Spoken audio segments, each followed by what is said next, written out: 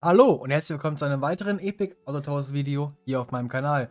Ich hoffe, ihr habt einen schönen Start in die Woche und wir werden jetzt eine weitere Challenge aus den Kommentaren spielen.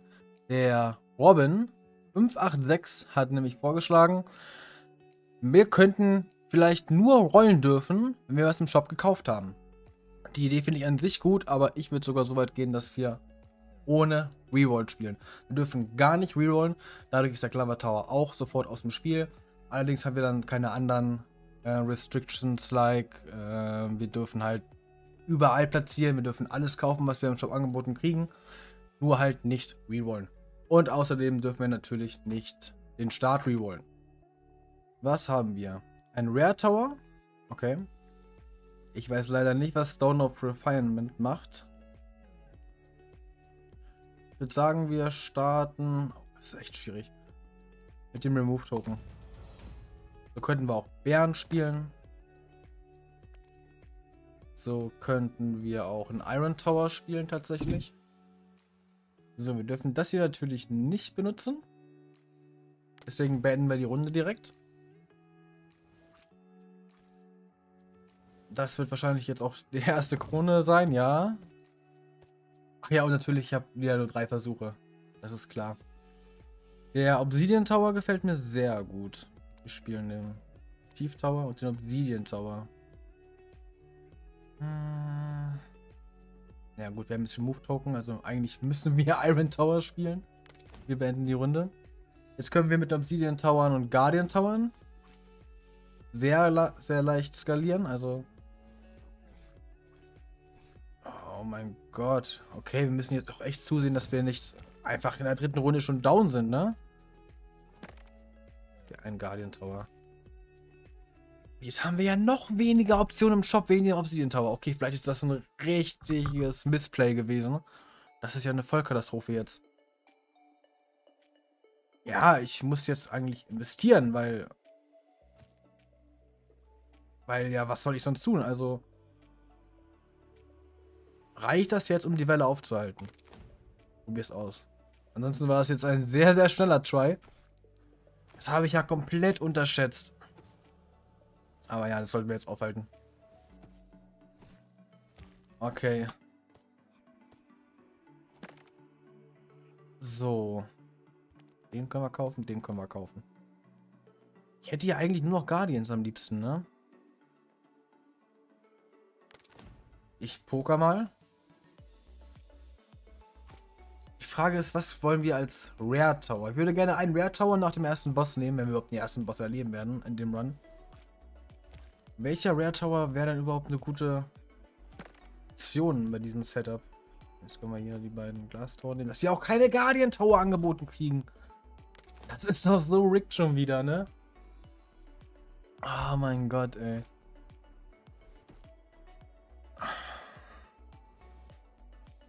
Boah, das war's.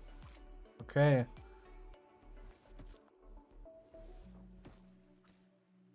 Oder? Ja. Das war der erste Versuch. Am Ende wird das ein 10-Minuten-Video. Wir gehen da direkt wieder rein, haben... Ich dachte schon, wir haben nur zwei Optionen. Aber wir haben alle Optionen. Ich würde sogar sagen, wir gehen jetzt diesmal auf alle Tower sind Uncommon. Denn wir haben ja im letzten Video gesehen, wie wichtig Uncommon Tower sind. Jetzt hätten wir einen Bären. Dice Tower komplett useless ohne Rerolls. Das wäre wirklich die schlimmste Option. Wir nehmen auf jeden Fall den Chest Tower. Und ich würde sagen, ein Snake Tower. Dahin? Ja. Der Snake Tower wird uns die ersten Runden auf jeden Fall sehr einfach machen. Die, die machen alle null Damage. Die machen gar keinen Schaden jetzt. Ja, das mit dem Obsidian Tower, das war ein absoluter Fehlkauf, sage ich mal. Das hier ist leider auch Müll. Biene. Nein, wir haben ja den Luxus, dass wir jetzt den Snake Tower haben, der uns die ersten vier Wellen quasi, äh, quasi gratis gibt. Wir warten lieber auf was Besseres. Aber richtig äh, Gold sparen macht auch keinen Sinn, wenn wir eigentlich rollen dürfen. Das ist alles Müll. Gehen wir jetzt auf Biene und eine Katze. Äh, Milch und eine Katze.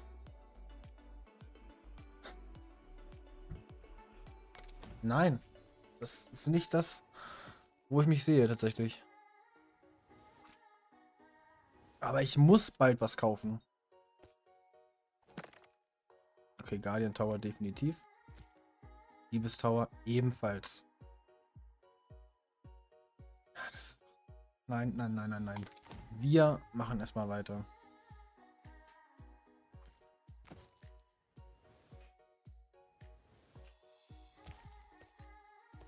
So ein Drachenei wäre jetzt cool. Oder ein zweiter Guardian Tower nehme ich auch. Ich dachte wirklich, das wird jetzt endlich mal eine Challenge, die ich gewinne. Weil bisher habe ich außer die allererste Challenge noch gar keine Challenge gewonnen. Es ist nur noch peinlich. Und ich dachte ja, okay, das hört sich wirklich easy an. Hier kann ich mal wenigstens wieder einen Sieg reinholen. Hier machen den World Tower. Gold brauchen wir gar nicht. Okay, jetzt haben wir Random the Witch. Das klingt doch eigentlich ganz nett. Ja. Den dritten Guardian Tower. Der Guardian Tower, der ist halt eigentlich auch nur gut am Anfang. Weil am Ende machen diese 1, 2 Damage mehr nicht mehr den Raten fett. Glass Tower ist auch schon viel zu spät. Hätten wir auch schon viel früher anfangen müssen mit. Jetzt haben wir zumindest Tränke. Und der Froschrang könnte hier zumindest weiter hüpfen.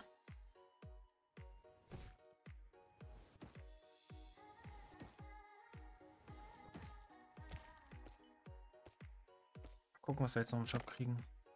So. Welcher Tower soll mehr Leben bekommen? Wir hatten nämlich Regeneration und Regeneration funktioniert so, dass am Anfang jeder Runde oder am Ende bekommt der Tower Max Life in Höhe der Regeneration und die Regeneration geht ein runter. Also wenn er zum Beispiel jetzt 9 Regeneration hätte, würde er plus 9 Max Life kriegen und dann nur noch 8 haben. Und dann steckt das mal weiter runter. Aber wollen wir einen Tower überhaupt zu Leben geben?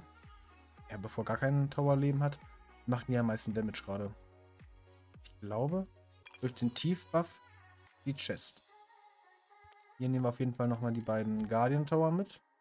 Wir könnten jetzt auch einen Mosquito Tower bauen. Wollen wir das? Ich, ich setze mal. Jetzt könnten wir auch Frosch und Princess spielen.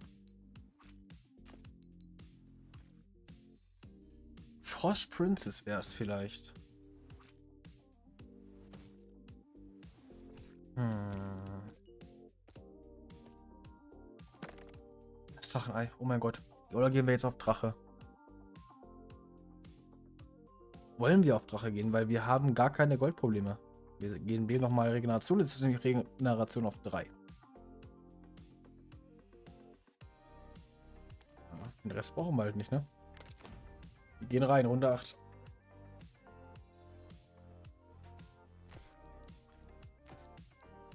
Noch sieht das gut aus.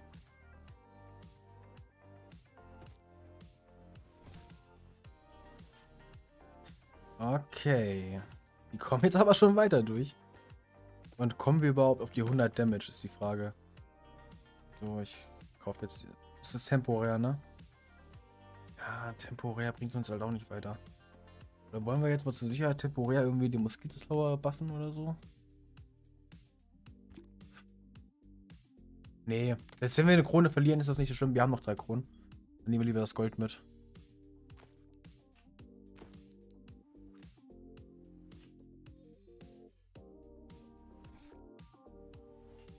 Wir auch dann den Rare Shop nicht rühren können. Das ist so bitter.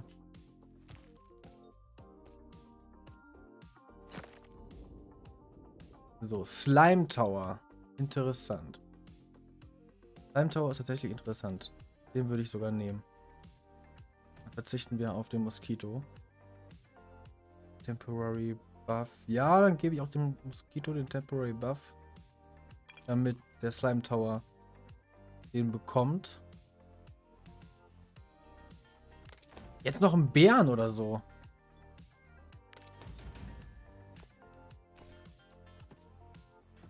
Wenn wir überhaupt noch so weit kommen. Schade, das war der zweite Versuch, aber der, der sah schon mal nicht ganz so kacke aus wie der erste Versuch. Wir versuchen es direkt nochmal. Snake Tower.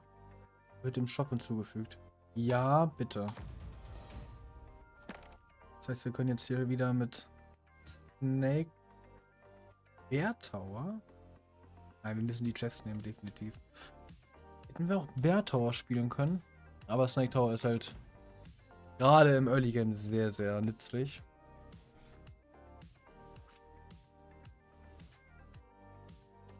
So. Jetzt haben wir einen Flower Tower.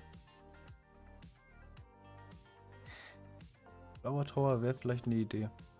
Hier nehmen wir einen Guardian. Eine Flower Tower hier oder da? Komm, wir spielen mit dem Flower Tower. Brauchen wir jetzt noch eine Biene und eine Schmiede. oder zwei Bienen. Am besten noch einen Bären. Das wäre noch cooler. So, wir können jetzt hier noch den Guardian auf 2 bringen und den Tief Tower bauen.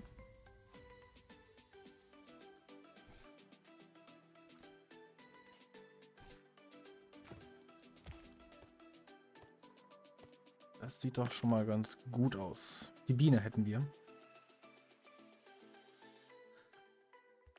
Biene, Schmiede, Prinzessin. Das ist, glaube ich, eine gute Idee. Beziehungsweise Biene, Schmiede, Bär. Ich glaube, Biene, Schmiede, Bär ist besser. Gut, wir beenden die Runde.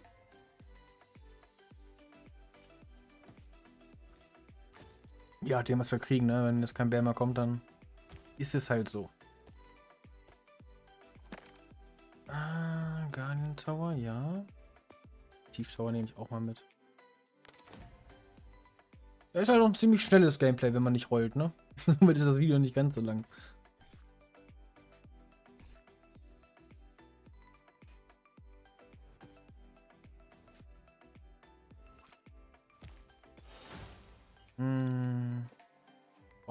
Kein Gold, deswegen nehmen wir das Royal Tower Upgrade. Wir hätten auch die Rarität erhöhen können. Das wäre auch ganz nützlich gewesen. Okay.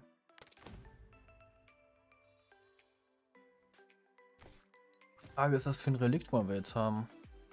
Das würde jetzt nützlich sein. Goldene Gans ist immer nützlich. Oh man, die kommen schon wieder weit durch. Ah. Noch kein Problem. Chest Tower. Aber wir sind hier schon wieder Runde 7, ne? Und wir haben noch nichts wirklich Nützliches gekriegt. Ich würde sagen, die Chest nehmen wir mit, weil wir halt irgendwas kaufen sollten. Auch wenn sich vielleicht nicht mehr aus nicht mehr ausbezahlt, die Chest da rein zu investieren.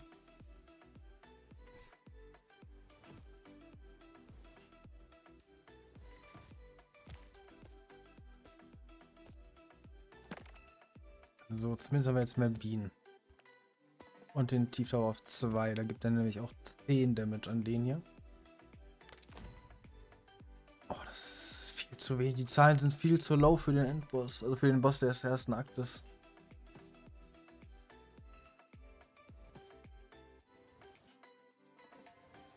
Und ich war so confident, dass wir, dass ich diese Challenge endlich gewinne. Verdammt.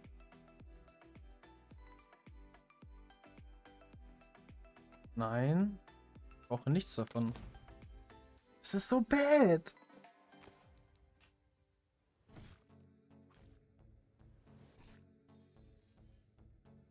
Die Schmiede kam nicht, der Honig kam nicht. Der Bär kam nicht mehr. Wie wollen wir das jetzt machen? Jetzt kommt schon der Boss. Jetzt haben wir den Bären. Aber zu spät und keine Honig, keine Schmiede. Ich kann da gar nicht hingucken.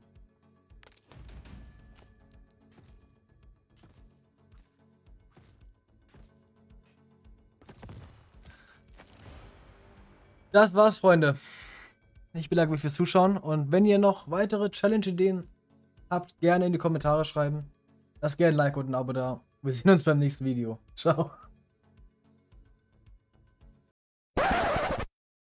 Nee. Nee. Das lasse ich nicht auf mir sitzen. Ich habe keinen Bock mehr. Auch wenn ich jetzt die Challenge verloren habe, weil ich halt nur drei Versuche habe, werde ich jetzt trotzdem nicht aufhören, bevor ich einen Sieg habe. Das kann ja wohl nicht angehen.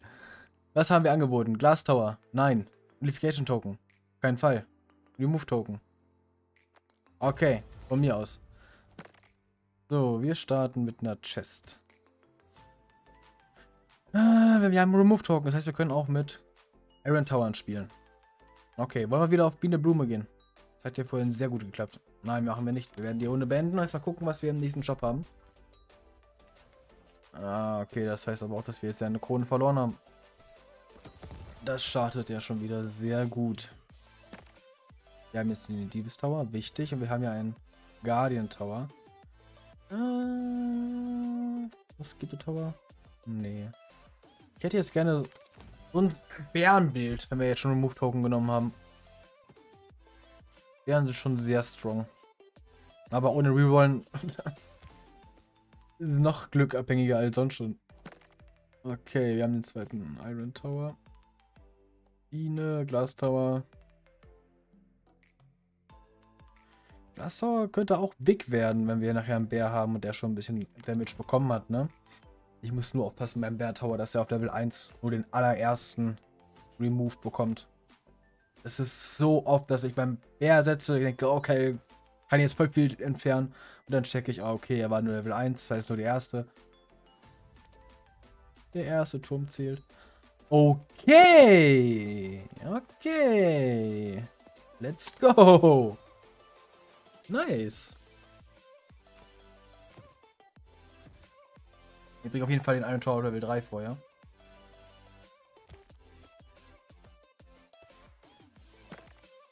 Jetzt haben wir auch eine Schmiede.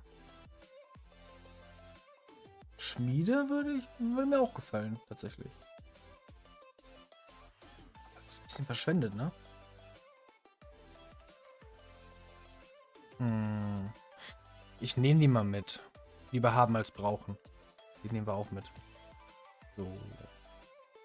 Guardian Tower auf. Nee, wir machen es mal weiter. Wir hätten die Spiele benutzen können. Wäre vielleicht schlau gewesen. Aber gut, machen wir in der nächsten Runde.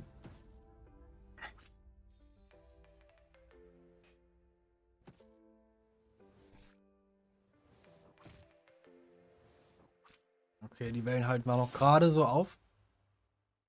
Rarity Upgrade. Nehmen wir diesmal. Wollen wir mal ausprobieren? Zweite Schmiede. Nehmen wir auf jeden Fall. Da machen wir ja noch ein bisschen Leben drauf. Wir brauchen nur noch einen Iron Tower, dann können wir den schon mal abreißen. Und wir brauchen auf jeden Fall einen Slime Tower für den Bild jetzt. Hätten wir auch viel Move-Token nehmen können beim Level Up, ne? Aber noch haben wir zwei. Und wir verlieren jetzt auch Kronen. Oder? Ja, genau aufgegangen, der Damage. Sehr, sehr schade. Jetzt müssen wir was machen. Hoffentlich gibt... Oh, Gott sei Dank, Gott sei Dank. Okay, okay, okay. Pass auf, pass auf. Wir haben 15 Gold. Bilder Tower? Nein. Wir setzen hier eine Schmiede drauf. Schmieden das Ding. Machen das da drauf und zerstören ihn. Okay, jetzt hat er schon mal 100 Leben. Sehr wichtig. Wir beenden die Runde. Okay, okay. Also beim nächsten Level Upgrade muss ich dran denken, die Remove Token zu nehmen. Diesmal verkacke ich es nicht. Diesmal denke ich da wirklich dran.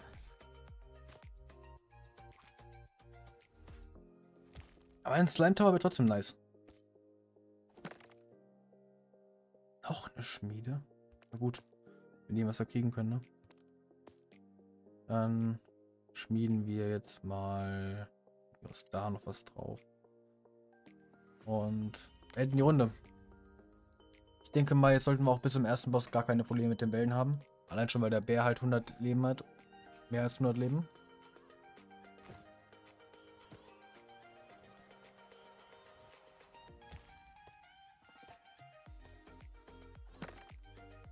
Boss Tower bringt nicht wirklich was, ne? Aber wir könnten hier nochmal zu zwei draufsetzen.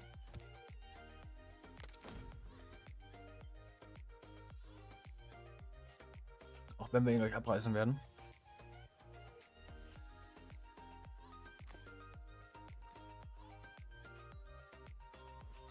Hätten wir vielleicht noch vorher schmieden können?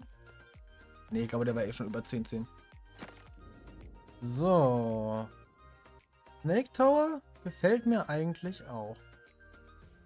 Das war gar nicht in dem Bild rein gerade. Aber... Snake Tower?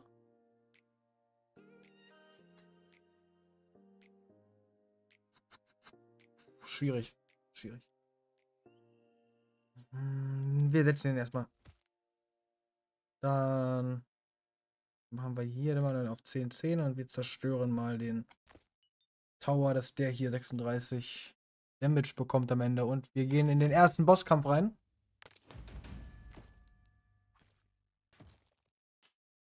Ja, okay. Sehr gut.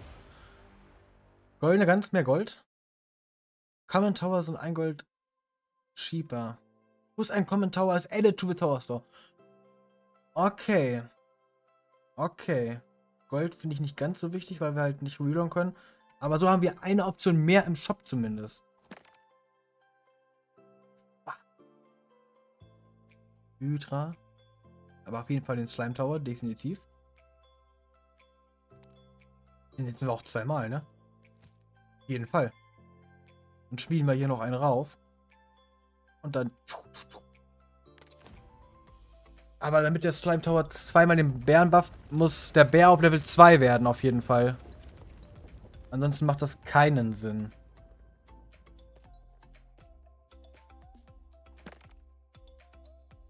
Schmiede. Hm, 5 Gold. Was hauen wir jetzt hier davor? Das hat am meisten Werte. Ne? So ein Leather Tower für 2. Da können wir sogar noch upgraden. Kosten ja jetzt nur noch 2.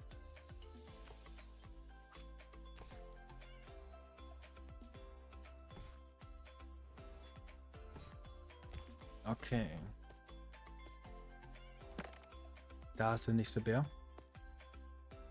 Äh, bisschen sehr teuer, um den da reinzufüttern, ne? Aber hier so viel Damage, beziehungsweise so.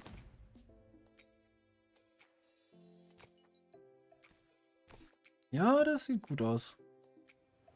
Auch wenn es für die Challenge nicht zählt, hier habe ich trotzdem verloren. Also habe ich wenigstens mal einen Sieg nach Hause geholt. Remove Token. Obsidian Tor, nein. So, wir buffen mal den nach vorne. Remove Token war super unnötig.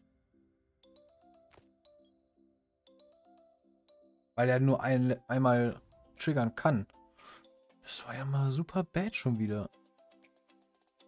So schlecht in diesem Spiel, ne? So, wir beenden.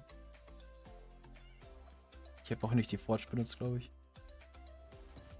Profi-Gamer am Start. Aber ich denke ja, an diesem Zeitpunkt kann ich auch nicht mehr viel falsch machen. Sollte eigentlich jetzt ein Sieg werden. Okay, Drachenei. Nein. Nee, nee. Kuh, auch nicht. Aber wir können hier für zwei einen reinfüttern.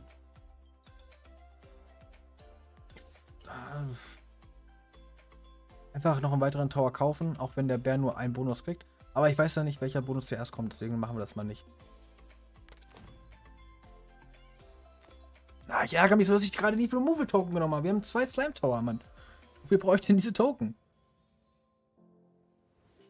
Obwohl der Guardian Tower schon sehr unnötig war da vorne, ne? Der hat uns ja gar nicht geholfen. Hm, Horse Tower. Kriegen wir jetzt auch diesen Rare Upgrade, wenn wir den jetzt platzieren und der sofort aufgefressen wird? Das will ich jetzt mal ausprobieren. Ob der Effekt trotzdem zählt, auch wenn der nur ein paar Sekunden gelebt hat, der Turm.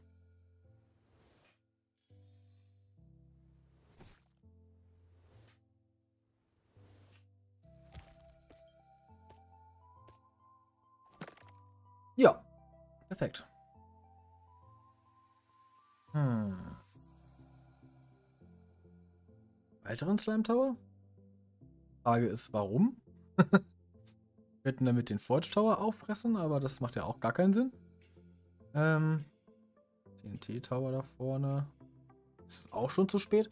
Komm, wir wollen das nicht länger in die Länge ziehen. Den nehme ich auf jeden Fall mit.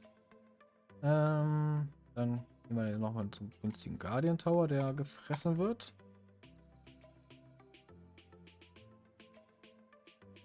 Und ich möchte mal einfach jetzt wissen, welcher Turm zuerst genommen wird. Okay, die werden von rechts nach links gefressen. Jetzt habe ich halt diesen einen Upgrade da verschenkt, aber ich wollte es nur mal wissen.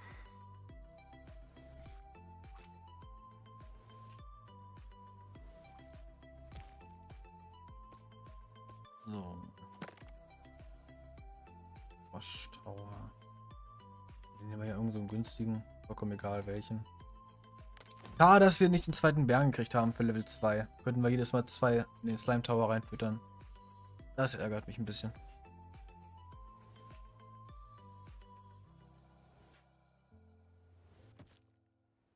Aber der Bär macht das auch so. Hm, jetzt haben wir zumindest schon mal das Schmiede Level 3. Ist auch big eigentlich, ne? Mal gucken, was wir jetzt noch im letzten Shop kriegen für das Pferdchen.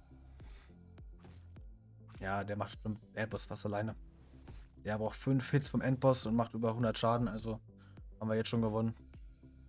Ganz ohne Probleme.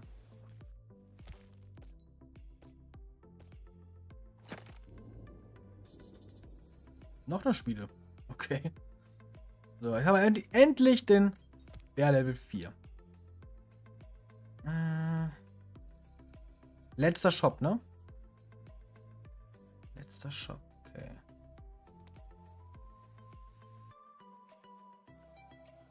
Der frisst den, der frisst den. Gut. Aber das können wir nicht mehr removen. Egal. So, jetzt können wir noch das Verfahren hier noch einsetzen von mir aus. Das machen wir auch noch da rein. Das machen wir da drauf und dann beenden wir die Runde. So, 300 Leben und 80 Damage. Perfekt. Okay. Vielen Dank fürs Zuschauen und jetzt wirklich Tschüss bis zum nächsten Mal. Ciao.